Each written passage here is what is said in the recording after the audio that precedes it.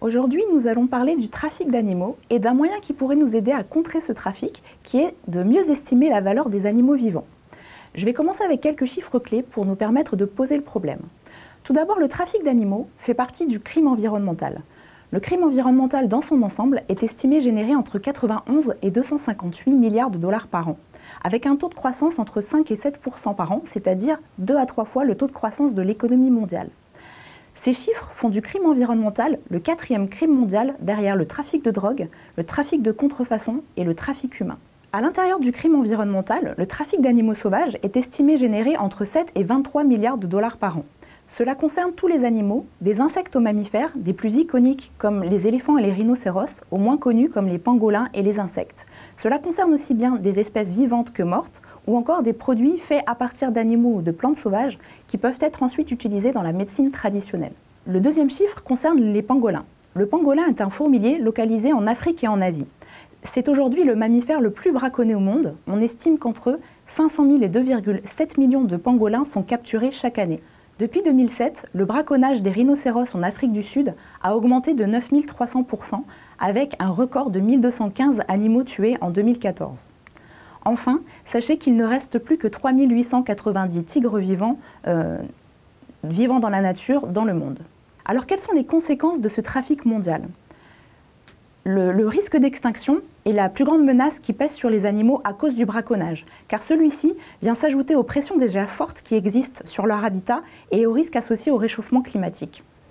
Dans la dernière édition de l'Union internationale de conservation de la nature, nous apprenons que 40% des amphibiens environ 30% des conifères, des coraux, des requins et des raies, 25% euh, des mammifères et 14% des oiseaux sont aujourd'hui menacés d'extinction à l'échelle mondiale.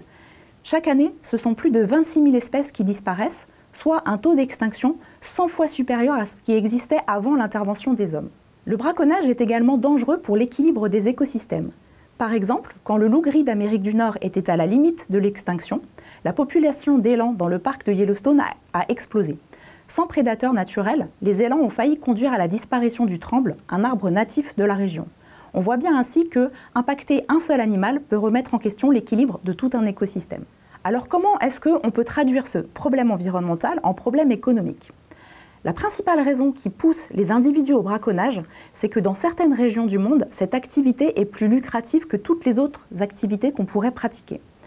Même si ce sont des marchés parallèles, des marchés noirs, des marchés existent pour les animaux ou pour les produits issus de ces animaux.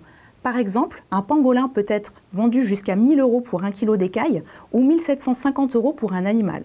De la même façon, le tigre peut rapporter jusqu'à 5000 dollars pour l'ensemble de ses pièces. Économiquement, ces chiffres correspondent à la valeur de ces animaux morts. Face à cela, euh, la valeur des animaux vivants dans la nature, elle, va rencontrer le même problème finalement que euh, tous les actifs environnementaux, comme l'air pur ou la forêt amazonienne, c'est que ces animaux n'ont pas de prix. Or, on a trop souvent tendance à considérer que ce qui n'a pas de prix n'a pas de valeur. Et on ne protège pas ce qui n'a pas de valeur. Pourquoi pas? Eh bien, tout simplement parce que protéger un animal ou une espèce, ça va générer des coûts. Le premier coût, c'est tout simplement le coût de la non-utilisation de ces espèces ou des produits issus euh, des animaux. Mais à cela, il faut ajouter également ce qu'on appelle euh, des coûts de réglementation, c'est-à-dire des coûts de mise en œuvre d'une politique environnementale pour protéger les animaux, et également les coûts associés au contrôle de cette politique une fois qu'elle a été mise en place. Euh, engager toutes ces dépenses pour quelque chose qu'on estime ne pas avoir de valeur autre que la valeur morale, c'est quelque chose qui peut être difficile à défendre, en particulier dans des pays où la pauvreté peut être très présente et où ça ne constitue pas une priorité. L'économie de l'environnement est une discipline de l'économie qui a vocation à trouver des solutions pour pallier à ce type de problème. Ici, la solution va consister à euh, développer des méthodes d'évaluation pour mieux estimer la valeur des animaux vivants. Mais de quelle valeur est-ce qu'on parle exactement? En économie, nous ne pouvons estimer que la valeur des choses euh, que les choses apportent aux hommes. Donc ici, il va falloir estimer la valeur que les animaux vivants vont pouvoir apporter aux hommes. Pour cela, on utilise une, valeur spécifique qui s'appelle la valeur économique totale. Celle-ci englobe plus de choses que ce qu'on peut penser a priori, et euh, notamment plusieurs sortes de valeurs qu'on va distinguer en deux catégories principales. D'un côté, les valeurs d'usage, et de l'autre, les valeurs de non-usage. À l'intérieur des valeurs d'usage, la première d'entre elles est ce qu'on appelle la valeur d'usage direct. Euh, celle-ci découle d'une utilisation consciente de la nature. Elle peut être soit extractive, c'est le cas du braconnage, c'est également le cas quand on va couper euh, du bois dans une forêt, mais elle peut également être non extractive, c'est le cas du tourisme qui consiste à aller voir les animaux vivants dans leur habitat naturel. La deuxième valeur est une valeur d'usage cette fois indirecte. Euh, celle-ci apparaît quand la nature permet de procurer des biens et services de meilleure qualité qui seront ensuite utilisés par les hommes. Nous savons par exemple que les animaux vont, euh, euh, améliorer la biodiversité en transportant des graines et qu'ils vont également améliorer la qualité des sols parce qu'ils vont venir les labourer sur leur passage. La troisième valeur est ce qu'on appelle une valeur d'option.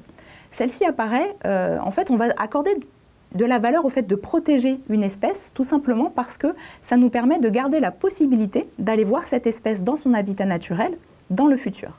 On distingue ces valeurs d'usage de ce qu'on appelle des valeurs de non-usage.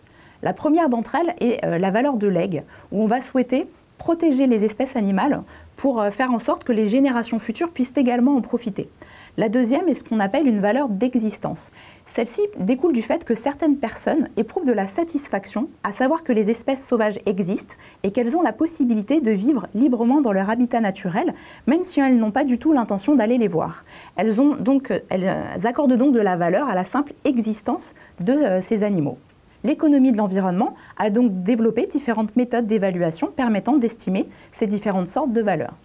Par exemple, un moyen couramment utilisé pour déterminer la valeur d'une espèce vivante va consister à estimer les bénéfices que cette espèce va pouvoir apporter aux hommes euh, grâce au tourisme. Euh, on va ainsi pouvoir opposer une valeur d'usage euh, non extractive à la valeur d'usage extractive qui est le braconnage. Plusieurs études ont été menées dans ce sens et euh, donnent des valeurs annuelles pour différentes espèces d'animaux qui vont de 3300 dollars par an pour un requin vivant aux Maldives jusqu'à 250 000 dollars par an pour un requin vivant aux Caraïbes. Alors évidemment, toutes les méthodes d'évaluation ont leurs limites, tous les chiffres peuvent être discutés. Néanmoins, nous pouvons utiliser ces chiffres au moins comme ordre de grandeur pour faire quelques comparaisons. Si on prend par exemple la valeur d'un éléphant vivant au Kenya qui est estimée à plus de 14 000 dollars par an, et qu'on la compare à la valeur de l'ivoire euh, à l'époque à laquelle l'étude a été menée, qui est estimée à seulement 1000 dollars, on obtient bien une valeur pour l'éléphant vivant qui est nettement supérieure à celle de l'ivoire qu'on peut espérer euh, récupérer. Et pourtant, il ne s'agit ici que d'une partie seulement de sa valeur économique totale, qu'on peut considérer comme étant sous-estimée. La principale limite en fait euh, à ces solutions est qu'il s'agit ici principalement d'estimation et pas d'espèces sonnantes et trébuchantes, contrairement à ce qu'on obtient avec le braconnage. C'est pourquoi, selon moi, il est très important, quand on met en place une politique publique visant à, à protéger une espèce ou à protéger une zone naturelle, de faire en sorte d'impliquer les populations locales et surtout de faire en sorte à ce qu'elles puissent en bénéficier directement. De cette façon, peut-être la population sera-t-elle incitée à protéger les animaux plutôt qu'à participer au braconnage.